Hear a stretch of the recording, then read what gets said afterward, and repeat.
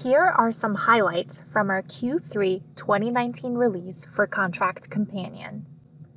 We built upon the active drafting feature released in version 10.2. This allows users to spot and fix errors directly where the cursor lays in the document, instead of depending on the task pane.